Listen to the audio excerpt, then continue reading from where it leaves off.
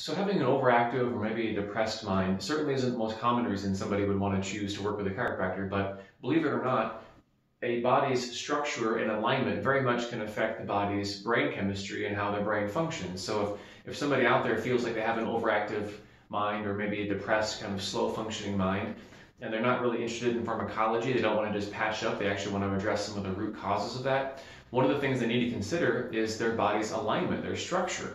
And that's why chiropractic care in some cases can have a really big impact on how the brain operates and how it works. And in our office, one of the things that's quite unique with what we do is we actually have some tools that measure that aspect of the nervous system that controls, you know, your, your you know, the brain and, and how, it, how it functions. So people that have uh, issues with depression or issues with anxiety, in many cases, the way to get out of that is not just a blood chemistry conversation, but it can also be a structural alignment conversation, which is why we have such great track records with those kinds of issues. So anyone out there who has those issues, or if you know somebody who has those issues, this might be something they want to consider doing.